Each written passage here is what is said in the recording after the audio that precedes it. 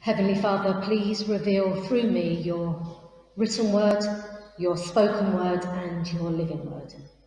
Amen. Amen. In the Gospel reading of John that we just heard, this chapter continues with the final part of the farewell discourse, which is also known as the high priestly prayer of Jesus. Remember that the setting up for this prayer is in the upper room, where Jesus and the disciples had celebrated Passover. This moment occurs before Jesus enters Gethsemane, where the other Gospels will record his final anguished prayers before being arrested. This prayer begins with Jesus' petition for his glorification by the Father and continues to an intercession for the success of works and protection for his disciples and the community of his followers. Jesus is not asking his Father for his disciples to be taken out of the world, but he is praying for them as they are sent into the world. He begins with them being not of the world and prays for protection as they are sent into the world. Jesus says, My prayer is not that you take them out of the world, but that you protect them from the evil one. The world is a dangerous place. We only have to switch on our television sets and tune into the daily news to hear about another COVID death, another variant, another murder, robbery, sexual assault, or tragic stabbing of a youth on our London streets. Every day, the newspapers and internet are filled with images and stories reporting about the dangers of the world. And for some of us here today, we will have experienced firsthand the dangers of life. However, what Jesus is speaking primarily about in this passage is not that we need protecting from what's out there in the world, but more importantly, we need to be protected from what's in here, inside our own hearts. When Jesus uses the word world, he did not mean nature or creation, for we know that nature and creation are good.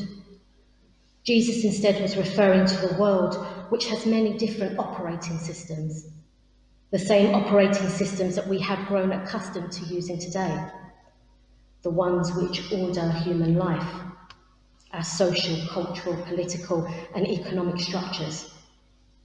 These worldly systems are all about security, status, and power. And whilst they work on one level, they also, on another level, have created fear, anger, division, and greed. This passage challenges us to ask ourselves the question are we too benefiting, participating, and fostering from systems of the world that are opposed to God's life? Are we operating out of a place of fear, resentment, jealousy, arrogance, or greed? Do we contribute to systems of domination and oppression when we try to control our environment, our lives, or other people? For God's system is radically different. It's radically different from the world.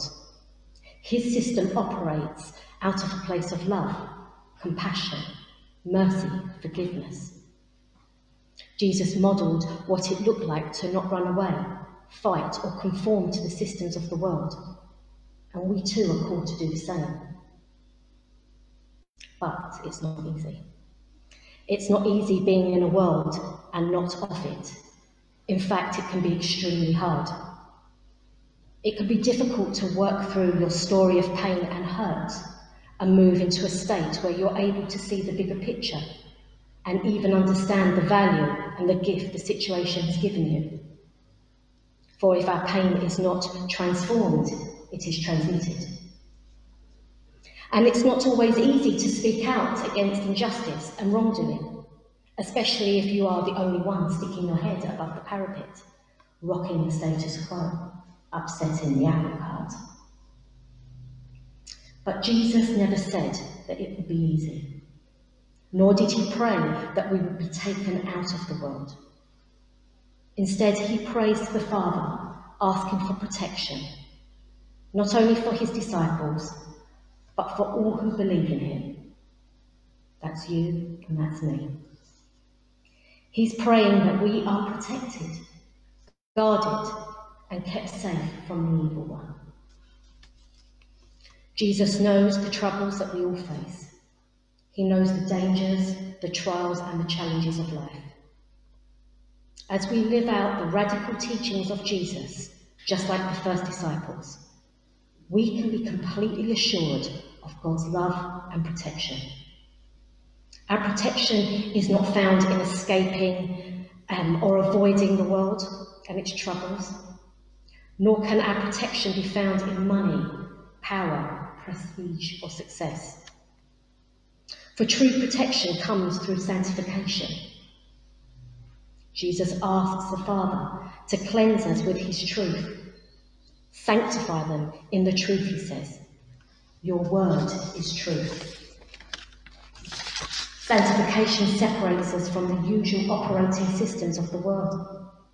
For when we place our lives firmly in the truth of God's word and not in the structures and systems of the world, we can be assured that nothing, absolutely nothing, can separate us from the love of God. And therefore, we are safe and protected in the midst of conflict. There will be people here today facing problems that are impossible to resolve or even to face in the strength of human resources. Therefore, my prayer for you today is whatever you're experiencing, enduring or suffering, that you would be filled with the hope and the joy of Christ, and know that you are protected by the power of his name. Amen.